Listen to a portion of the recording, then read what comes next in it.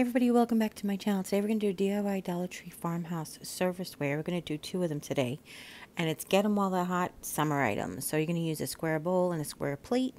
And then we're also going to redo this bowl. We're going to make them so that you can, this one especially, that you can put food in it. And then you're going to use this tall drinking glass. We're going to use that for the riser, these are all summer items. Get them while they're hot. We're going to use some spray paint as well as some black paint or Sharpie. We're going to use paint on the bowl, Sharpie on the other dishes. Um, and I want to show you that I really quickly I shared this on Instagram for a few hours. I took a poll to see because I actually made it to be two ways either the bowl on the bottom or the plate on the bottom. And actually, I even designed a third way in my head. I just didn't poll it, which was the bowl on the bottom and the plate on the top. Um, but what I wanted to do is to be able to make some actual food service ware. So, um, what we're going to do really quick is the bottom of this um, this drinking cup kind of bows out a little bit and doesn't really hug the underside of the bowl or plate very well. So we're just going to take our, our uh, box cutter, utility knife, whatever you have. We're just going to score it a few times so it has a little give and we'll push down on it and just make sure that it, it can divot in a little bit is what I'm saying. So now we're going to take our plasticware outside for spray painting. Now, my original thought was big bowl on the bottom with chips, little bowl on the top with dip. Um, and the big bowl, we actually put the contact paper in there, which is food safe. Obviously, you put it on your shelves, but. Um, and then the bowl, of course, we weren't going to paint the inside of the bowl, which of course then makes it food safe. The only paint that would have touched any food is what we put on the riser. Now I did a lot of research about protecting paint and coating paint and making painted surfaces food safe. So just do whatever research you're comfortable with. But for the couple hours that chips are going to stay next to this, it really is like next to this upright thing. It's really not a huge travesty. It's not a lot of food, you know, a lot, not a lot of stuff will get leached onto your food. Basically, and you try to use non toxic paint anyway. Um, but basically, really, all the things that I found were as long as the paint is um, like has a sealing on it. So you could seal it, you could do epoxy sealing if you want to really be safe, um, or you could just, you know, um, basically use like a gloss paint, which will basically have a seal already. Um, try to stay away from the flat paints, I guess.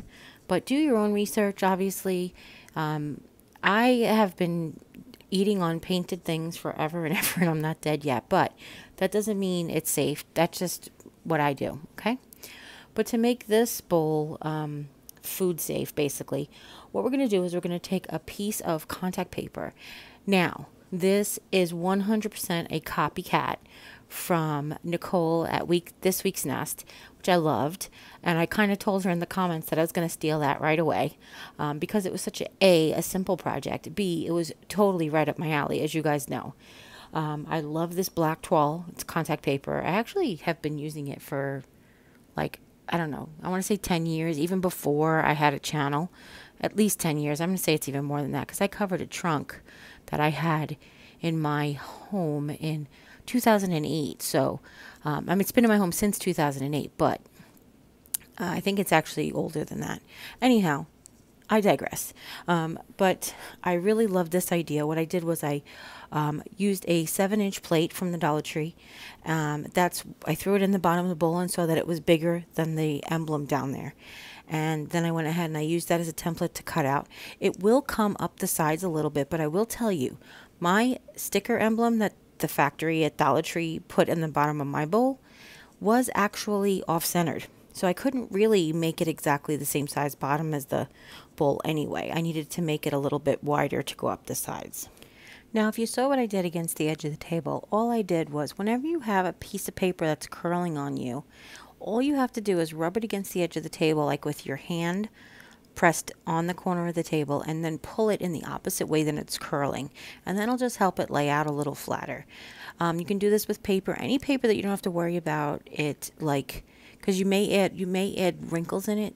So um, if you don't have to worry about that, or if it's heavy duty like this vinyl, um, then absolutely. And then I laid it in. It was a little bigger, bigger even than I wanted, so I trimmed it down just like a eighth of an inch, hardly at all. And then I did, you know, peel back one piece, lay it down, center it up, lay it down, pull the paper. You know how we do contact paper. Now I will tell you, and I don't know if it's because I live with a smoker or what, but my white background was a little yellower than the white bowl. So keep that in mind if that bothers you. Um, I don't know if just because, like I said, my contact paper has been in the house for a long time. Could be why. It could be just it looks different. So um, now the only paint we're going to put on this is we're going to use some of the uh, FolkArt black chalk paint and we're just going to lay it on the edges of the bowl. Obviously there is a small chance that food may touch this but um, it's not really sitting on the food. The food will be sitting in the bowl. Um, so that's why I wanted to go ahead and just add that to the edge of the black, uh, the black to the edge of the rim. But another option could be if you have the black contact paper, you can like trace out the, make a strip and stick it down. You could do that as well. Um, but I'm just going to go with this. Like I said, I'm, I'm fine with it. It's not, I'm not going to keep chips in there 24 7. Who's going to keep their chips out 24 7? And if it was as a fruit bowl, you wash your fruit before you use it. You know, who knows what's happening to fruit before you eat it. So you have to wash it before you eat it anyway. So here's where I showed everybody. Um, basically, I put together the pieces. I wanted to show you that the top of the cup actually goes down um, because of the. Um, remember, I told you that the bottom of the cup kind of bows out a little bit. Well, the bowl kind of does that too, and so does the plate. Um, kind of the very, very center. It doesn't really lay perfectly flat. Well, mine didn't anyway. So I wanted to put the open side down so it would kind of hug the middle of that bowl. And I was just showing you there the different combinations. Bowl on the bottom, plate on the top, bowl on the top, plate, you know what I mean? So um, this is about where um, I decided to make it look enamelware. You don't have to do this. You can skip this step entirely. You could also paint the rim of that bowl white if you want to, just and do that as well. Um, but this is where I just took some sandpaper um, because we painted the bowls black first. And the reason, if I'm sorry, I realized I just didn't tell you why I did that. We paint everything black first to cover the print. Um, I just find it a lot easier to do one coat of really good black paint under uh, one coat of white paint. Otherwise, it may take a couple of coats to get over whatever's printed on the bowl of white paint. So either way, whatever works, whatever was easier for you. But also another reason we do it is then when we sand away some of the white paint, we could expose some of that black paint um, come up on the edge. But if you don't expose enough black paint or you want more, you can always add it um, after you're done sanding. Okay. So after we're done sanding all of the parts, I um, sanded that that upright as well. But I will tell you because it's on a soft rubbery kind of plastic.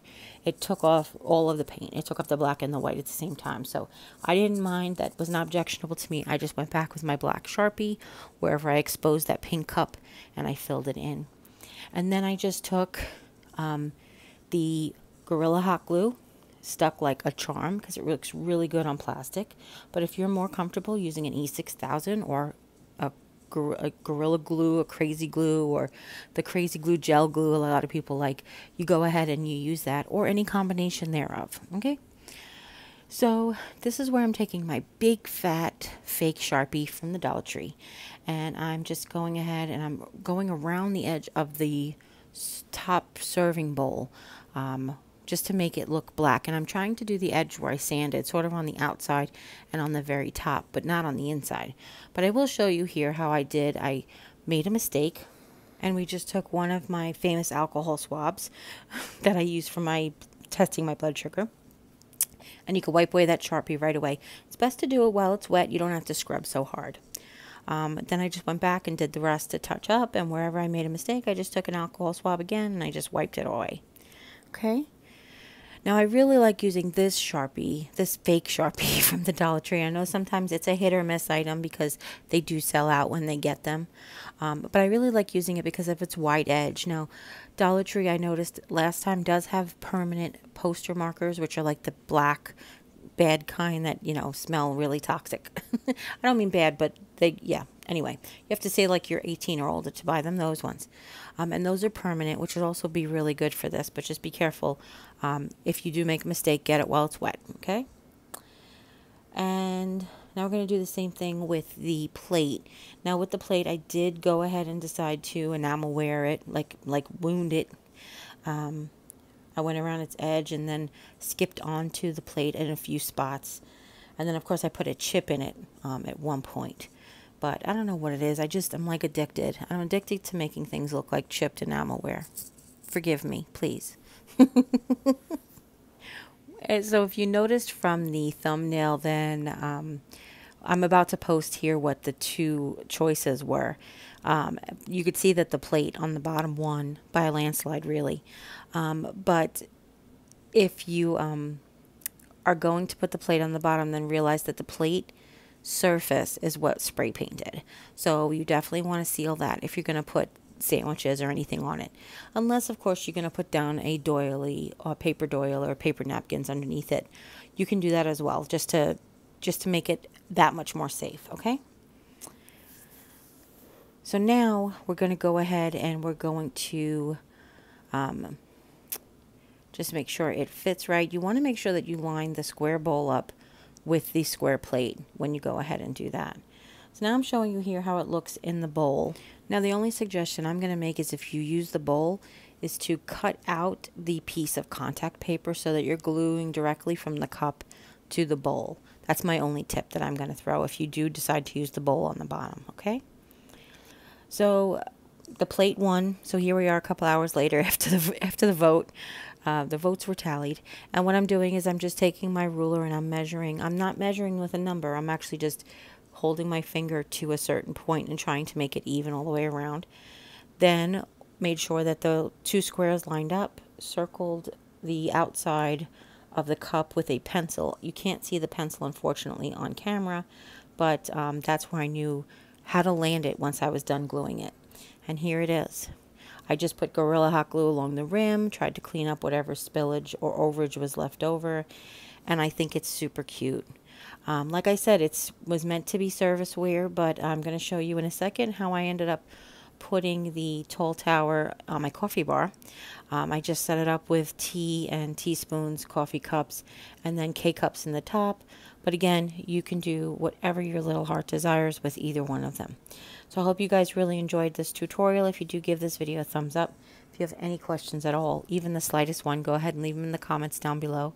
Don't forget to share this video with friends and family. Anybody who might be interested in seeing how to make either one of these. And if you haven't yet, click subscribe. And when you do, a little bell will pop up.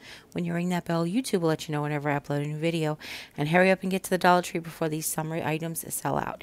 Don't forget to stop by to see Nicole at This Week's Nest. I'll link her channel in the description down below. As always, you take care, God bless, and we'll see you next time. Bye.